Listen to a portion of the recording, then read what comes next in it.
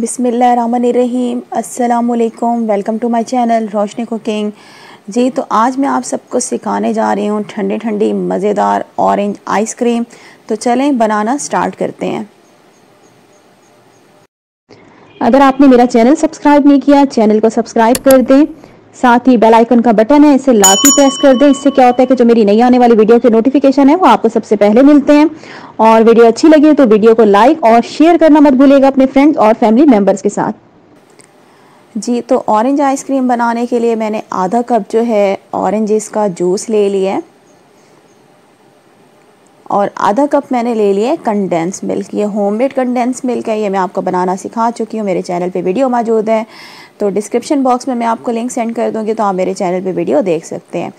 इसके बाद क्या करना है, आपने ऑरेंज जूस को कंडेंस मिल्क के अंदर डाल देना है और दोनों चीज़ों को अच्छी तरह से हम आपस में मिक्स करेंगे। तो दोनों चीज़ों को मैंने मिक्स कर दिया इसको अभी हम रख देते हैं साइड पे। और एक कप मैंने ले लिया है विपिंग क्रीम। विपिंग क्रीम जो है ठंडी होनी चाहिए, इसको हम बीटर से बीट करेंगे। कितनी देर बीट करेंगे, तब तक बीट करेंगे, जब तक कि आपको फील ना होना शुरू हो जाए कि क्रीम जो है वो थिक होना शुरू हो गई है। जब आपको फील हो कि क्रीम जो है थिक होना शुरू हो गई है तो हम क्या करेंगे, बीटर को बंद कर देंगे।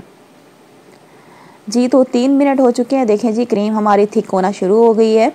और अब क्या करेंगे? दोबारा से हम बीटर को ऑन कर देंगे और इसके अंदर हम डालेंगे जो हमने ऑरेंज जूस और कंडेंस मिल्क को मिक्स करके रखा था। इसमें थोड़ा थोड़ा करके डालते जाएँगे और बीटर हमारा चलता रह जाएगा।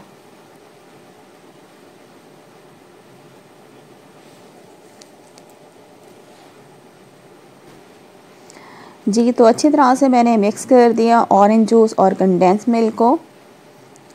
बीटर को हम बंद कर देंगे।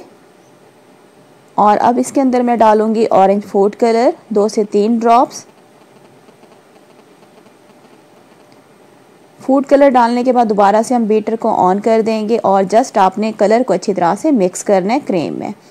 जी तो मिक्स कर दिया बीटर को हम बंद कर देंगे और ये हमारा आइसक्रीम का मिक्सचर जो है रेडी हो चुके हैं. और ये मैंने एयर टाइट कंटेनर ले लिए। इसके अंदर हम सारा आइसक्रीम का जो मिक्सचर है, वो इसमें डाल देंगे। स्पून की मदद से ऊपर से लेवल बराबर कर दीजिएगा और इसका ढक्कन हम अच्छी तरह से बंद कर देंगे।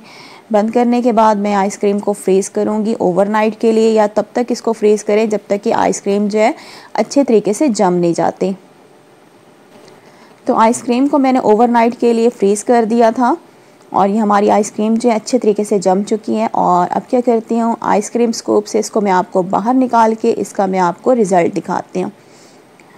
तो ये देखें जी, माशाल्लाह से हमारी जो क्रीमी आइसक्रीम है, ऑरेंज आइसक्रीम बन के रेडी हो चुकी है, बहुत ज़्यादा टेस्टी बनती है।